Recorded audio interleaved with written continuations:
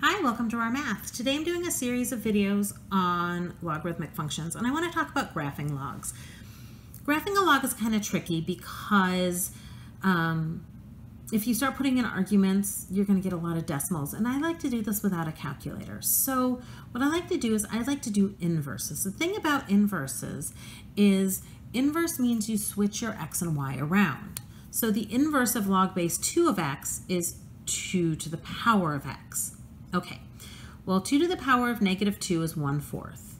Why? Well, 2 to the negative 2, that negative means drop it to the denominator, 1 fourth. Right, 2 to the negative 1 is 1 half, anything to the power of 0 is 1, 2, 4, 8.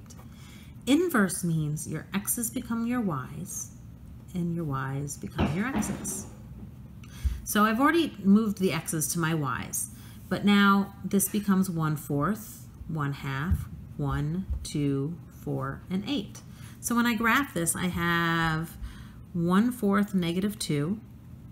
I have 1 half negative 1, 1, 0, 2, 1, 4, 2, and 8, 3.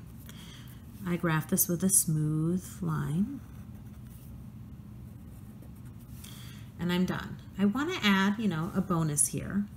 For an exponential, the domain of an exponential is all real. I have videos on this, um, but an exponential, you can put in any x. An exponential, the range is 0 to infinity. It has to be above the x-axis. You can write um, all real here, and you can say f of x is greater than 0. That's fine. It means the same thing.